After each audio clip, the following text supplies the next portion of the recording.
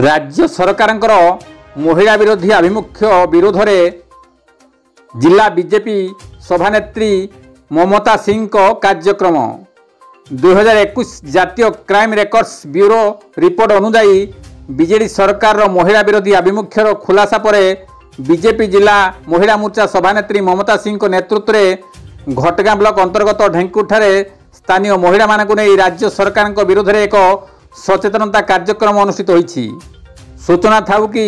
ଦୁଇହଜାର ଏକୋଇଶ ଜାତୀୟ କ୍ରାଇମ୍ ରେକର୍ଡସ୍ ବ୍ୟୁରୋ ଅନୁଯାୟୀ ମହିଳା ଅପରାଧରେ ଓଡ଼ିଶା ନମ୍ବର ୱାନ୍ ହେବା ସାରା ରାଜ୍ୟରେ ଆଲୋଡ଼ନ ସୃଷ୍ଟି କରିଛି ତେଇଶ ବର୍ଷର ବିଜେଡି ସରକାର ଶାସନରେ ଥିବା ସମୟରେ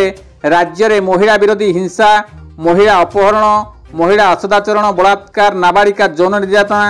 ମହିଳା ଉତ୍ପୀଡ଼ନ ସାଇବର କ୍ରାଇମ୍ ମାନବ ଚାଲାଣ ପୂର୍ବ ବର୍ଷ ଅପେକ୍ଷା ବୃଦ୍ଧି ପାଇବା ଅତ୍ୟନ୍ତ ଚିନ୍ତା ଓ ଲଜ୍ଜାଜନକ ବିଷୟ ରାଜ୍ୟ ସରକାରଙ୍କ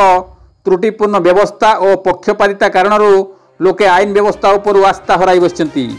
ଉକ୍ତ ସଭାରେ ଶ୍ରୀମତୀ ସିଂ ନାରୀ ସଶକ୍ତିକରଣର କଥା କହି ମିଛ ବାହାସ୍ଫୁଟ ମାରୁଥିବା ରାଜ୍ୟ ସରକାର ମହିଳାଙ୍କୁ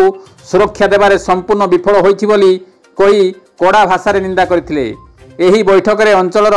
ଶତାଧିକ ମହିଳା ଉପସ୍ଥିତ ଥିଲେ ବିର ରିପୋର୍ଟ କେଡି ନ୍ୟୁଜ୍ ଓଡ଼ିଆ